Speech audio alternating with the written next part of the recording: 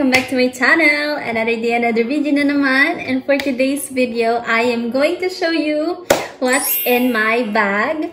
And yeah, without further ado, let's get into my bag! So, ito ang ginagamit kong bag. Hindi naman halata na mahilig ako sa Michael Kors, no? ito ang aking bag na ginagamit na pang trabaho. It's my, kita ba? It's my everyday bag. And, binili ko to nung sale siya sa um, Fidenza. 120 ata to. No, hindi, hindi ko siya binili sa Fidenza. Sa ano pala, online ko to binili nung Christmas. 120 something ata siya. Hindi ko na maalala, pero sale siya. And yeah. So, ganito siya. Meron siyang zipper eme.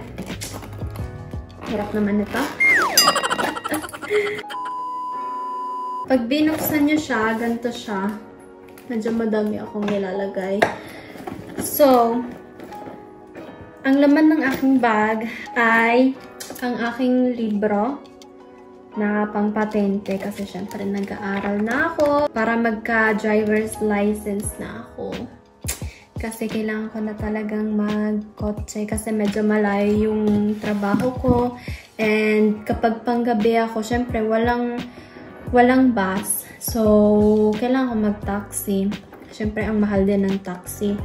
So, kailangan ko makapasa para pwede ako bumili ng kotse at saka Nagda-drive na ako. Tapos, dala-dala ko din ng aking weekly planner. Lagi ko itong dala-dala kasi kapag kunyari may importante akong appointment, ganun, sinusulat ko dito para naaalala ko kasi minsan nakakalimutan ko. Meron din akong makeup bag, pouch, eme, niregalo sa akin nung um, Christmas ng aking katrabaho. Thank you! And madami siyang laman. As you can see, madami siyang laman. And yeah, I will show you kung ano nga ba ang laman nitong aking, nitong aking makeup pouch. Meron akong pulbo. Lalo na ngayon, kailangan kasi mainit na. Lagi akong pinagpapawisan lalo na kapag may mask. So, nagdadala akong pulbo. Tapos, meron din akong um, facial spray. Kasi minsan pag nasa trabaho ako at medyo oily na, naghihilamos ako. Tapos, ini-spray ko lang to. Tapos, ayos na. Pat-pat. Then, nagpupulbo lang ako. And ayos na ulit ang aking skin. Then, meron din akong lip tint, of course. At lip balm.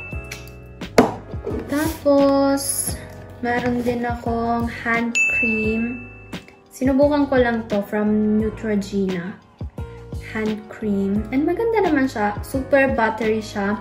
At saka, um, lalo na ngayon, nalaga tayo nag-hand sanitizer, nag-alcohol. Siyempre, nagda-dry ang ating hands. So, kailangan natin mag-hand cream para ma-moisturize ulit ang ating kamay.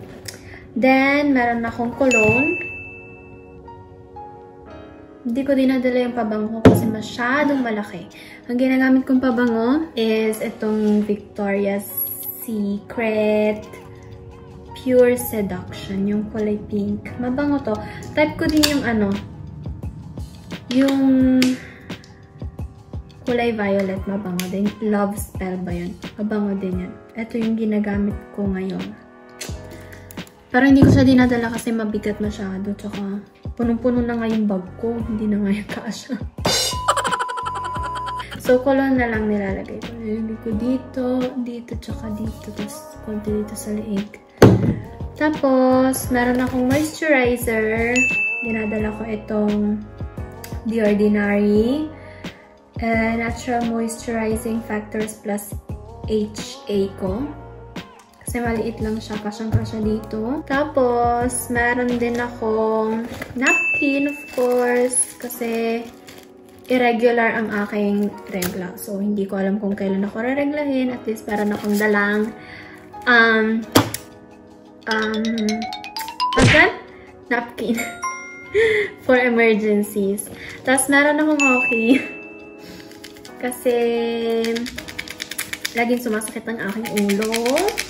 Lalo na at, pagdating ko ng trabaho, mainit sa labas. Tapos, pagpasok ko, may aircon. So, malamig. So, sumasakit ang ulo ko. So, nagdadala ko lagi nito. Tapos, meron akong wipes. Meron akong makeup wipes. Tapos, itong, ito naman, kahit anong use pwede. Ito, maliliit lang. Super convenient. Pwede dala sa bag. Tapos, meron din akong band-aid. If ever na masugat ako, may band-aid ako. Tapos, meron din akong gloves guanti para sa trabaho. At charger. Hindi ko to pwedeng kalimutan sa bahay. Kasi walang charger dun na pang iPhone. So, yun ang laman ng aking makeup pouch. Ang dami. tapos, tapos, syempre, meron ako, dala-dala ko ang aking glasses. Kasi, malabo ang aking mata. So, ito siya. Hello? Dinadala ko to sa trabaho kasi pag na nagko-computer ako, medyo nakakahilo yung ano, yung luminosity ng computer. Nakakasakit ng ulo. So, nag-glasses ako. Then, ang aking mahiwagang wallet. Liit lang. Ayoko kasi ng malaking wallet. Gusto ko yung maliliit lang so that it doesn't use a lot of space sa aking bag. Kasi nga, dami ko nang dinadala. Tapos, pag malaki pa ang aking wallet, eh wala din naman laman. ang laman ng aking wallet ay mga dokumento ko. Then, meron akong konting cash. 5 euro lang. Pero dapat mag-withdraw pa ako.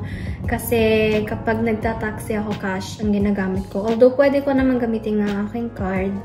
Kasi hindi na talaga ako mahilig maglabas ng cash. Kasi pag naglalabas ako ng cash, kunyari 50, tapos nabaryahan na, nagagastos ko na lahat. Kaya, iniiwan ko na lang sa card. Di na ako nag-withdraw.